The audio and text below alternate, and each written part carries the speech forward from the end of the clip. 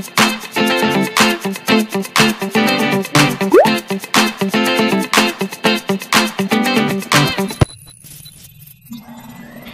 everyone! Good day sa lahat.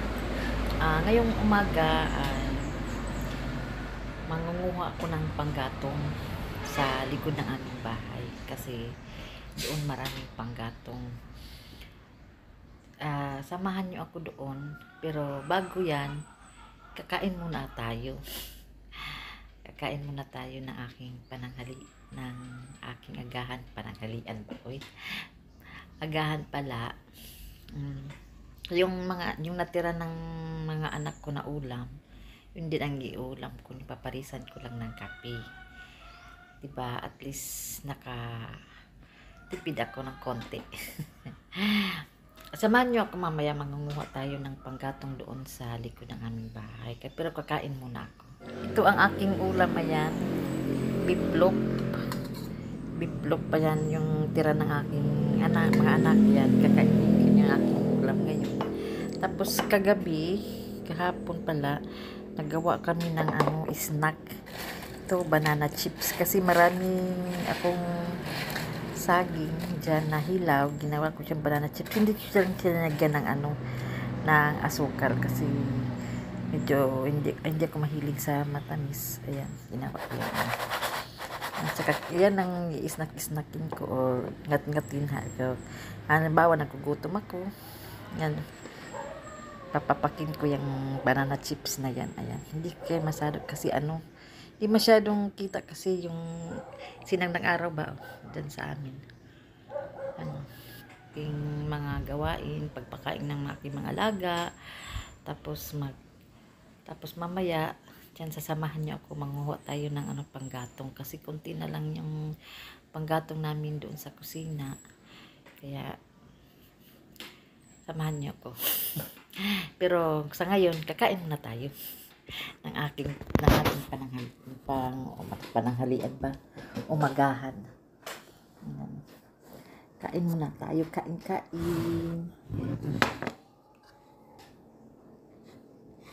ito lang talagang aking, you know, pag umaga, yung mga tira ng aking anak, yun lang ang kinakain ko. Pero, hindi naman ako talaga masyado talaga masyado mahilig nito. Kasi, sa umaga talaga, yun kasi madaling lutuin, lalo na pag mamadali ka.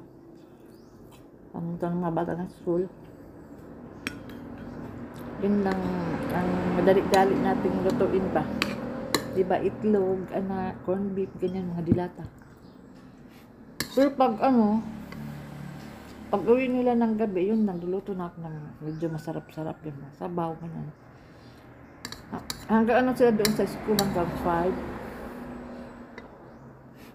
Ako lang talaga dito. Mula maga hanggang hanggang hapon. Yeah.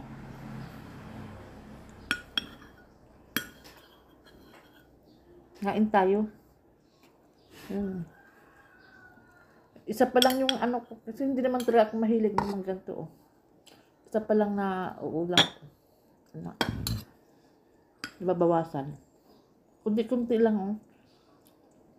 As long as may na anuhan lang ko sa kanin na dalasahan, yun na, okay na.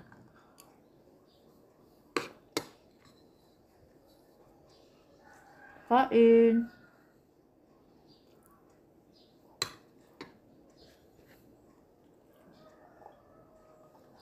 Ito namang aking ano, banana chips. Ayan o.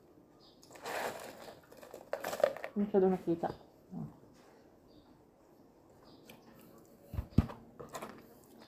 Oh, ayan, tapos na ako kumain. Ayan. Isa lang talaga ang naano ko nito.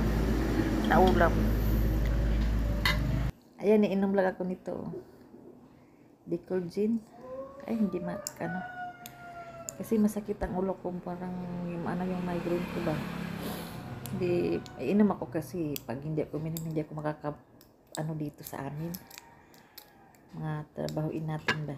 Hindi natin magagampanan. Gagampanan. Ito yung tubig ko. Kuha lang ako. mag ano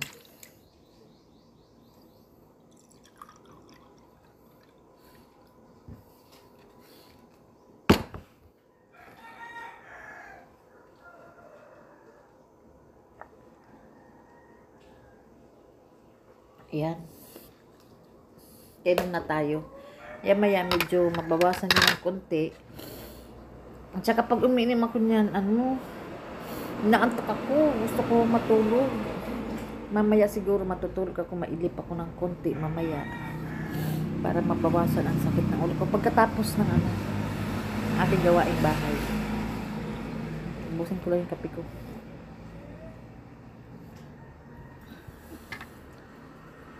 Yan. Ah, ano na tayo? Umpisa na tayo sa ating gawaing bahay. Ano muna mag papakain muna ako ng aking mga pakain muna ako ng aking mga alagang hayop tapos samahan niyo ako magkuha ng mga panggatong para sa aming pagluluto sa kusina.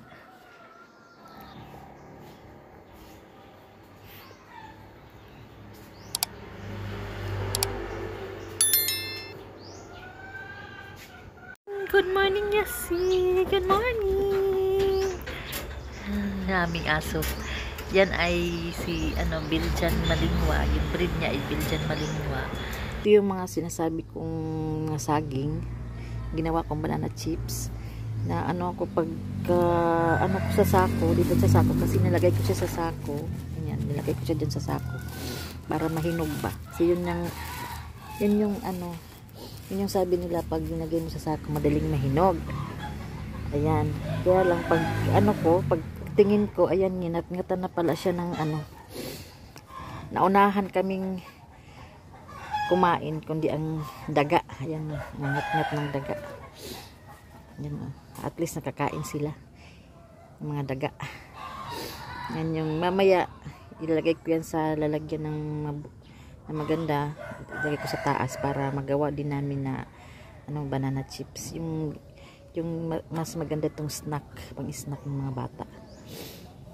Yan